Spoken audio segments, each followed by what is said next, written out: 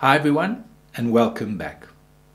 I remember that when our children were small and we would be walking down a busy street, my wife would always take them by the hand and say, Listen, hold the hand of mom and dad so you will be safe.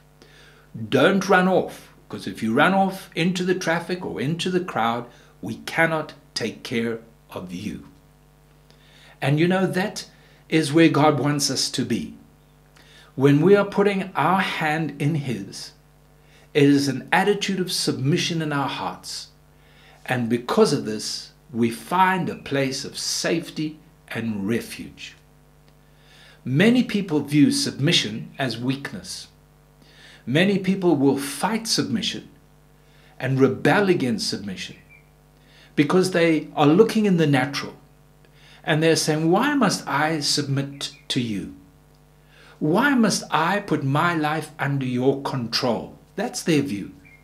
And even in a marriage, with all this, this contemporary thinking that we face, where women are saying to men, We are equal.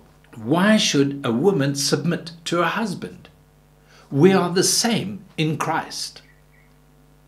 And this is a very dangerous place. Even in children, in society today, there's a, a, a rebellion, a disregard for submission.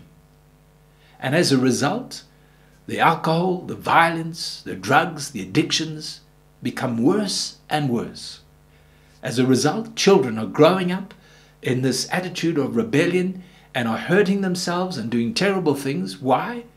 Because God is looking for one thing. You and I, we need to walk in submission submission to the Lord, submission to all those who are in authority. That's what Paul says in Romans chapter 13. To recognize that everyone who is in authority is there as a messenger of God.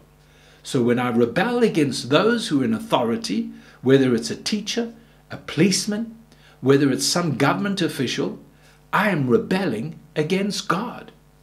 And the moment I do that, I move out of the place of safety, a place of refuge, into a place of danger.